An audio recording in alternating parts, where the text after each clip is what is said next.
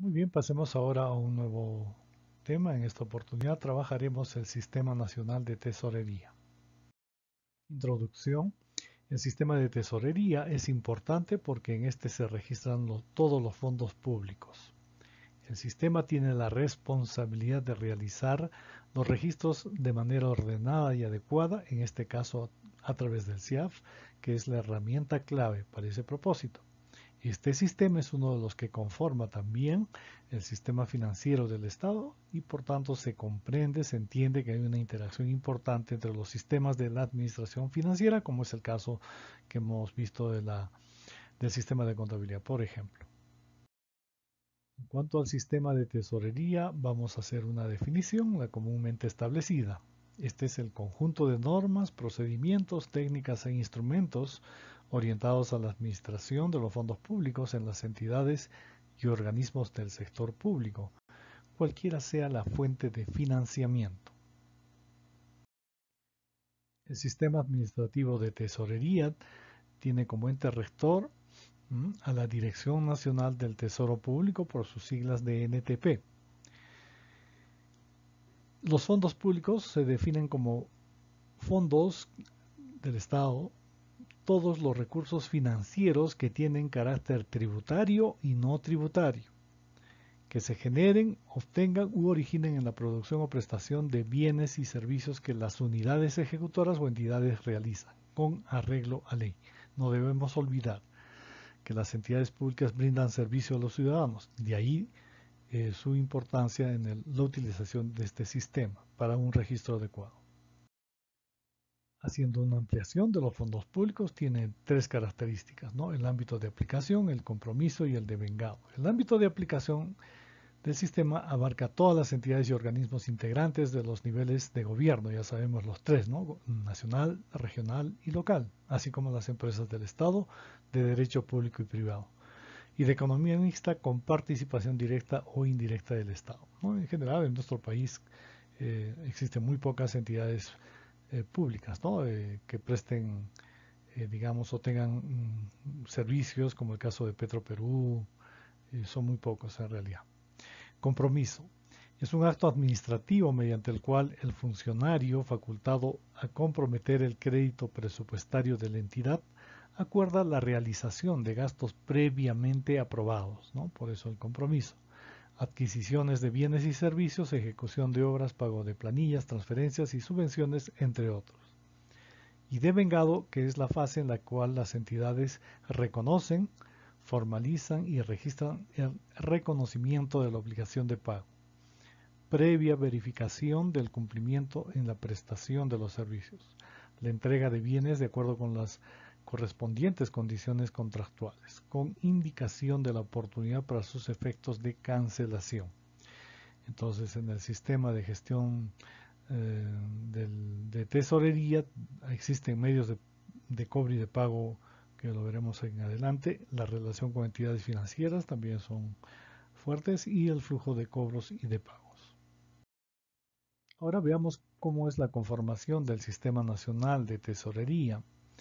Tenemos el Sistema Nacional de Tesorería en la parte superior, luego en, el nivel central está la Dirección Nacional del Tesoro Público, que es el ente rector, y en el nivel descentralizado y operativo, vale decir en gobiernos regionales y locales, tenemos las unidades ejecutoras y la oficina de tesorería específicamente. Así está estructurado este sistema. Veamos los sistemas administrativos de tesorería y los principios regulatorios que éste contiene. La unidad de caja, que es la administración centralizada de los fondos públicos por cada unidad ejecutora. Economicidad, manejo y disposición de los fondos públicos de manera óptima. Veracidad, autorizaciones y procesamiento de operaciones legalmente autorizados y ejecutados. Oportunidad, percepción y acreditación de los fondos públicos en plazos señalados. Programación, obtención, organización y presentación del estado y flujos de los ingresos y gastos públicos y seguridad. Prevención de riesgos o contingencias en el manejo y registro de las operaciones de los fondos públicos. Miremos ahora dentro del sistema administrativo de tesorería cuáles son las modalidades de pago, ¿no? Como estamos observando, a la izquierda tenemos cuatro modalidades establecidas. En el caso de abonos en cuentas individuales, esto se utiliza para remuneraciones, pensiones y pago a CAS, dietas del directorio. En el caso de las transferencias electrónicas a cuentas del Sistema Financiero Nacional, esta está establecido para sobre todo los proveedores del Estado y estos tienen que estar registrados previamente en el CIAF. ¿no? Pago con cheques, excepcionalmente se realiza este medio o esta modalidad de pago y son utilizados para exclusivamente en los casos señalados en el artículo 31 de la Directiva de Tesorería. Y pagos en efectivo son gastos menudos, ¿no? lo que se conoce también como caja chica, cuya cancelación es inmediata o que, se pueden, o que pueden ser pagados con otros instrumentos. ¿no? Pueden utilizarse para pagos, por ejemplo, de jornadas, em, para movilidad local, etc. Miremos ahora un resumen acerca del sistema administrativo de tesorería.